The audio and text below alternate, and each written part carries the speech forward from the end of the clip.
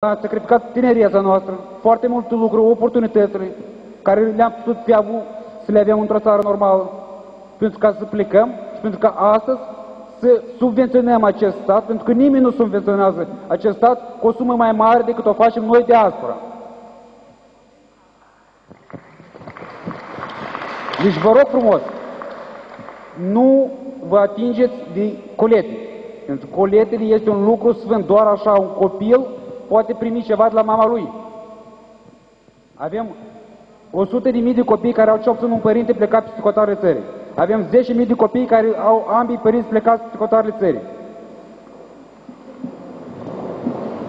Nu vă gândiți doar cum să vă umpleți bugetul de stat și paralel să vă umpliți buzunarele. Vă rog frumos, munciți pentru cetățeni, nu munciți doar pentru voi și pentru boierașe care sunt la guvernare.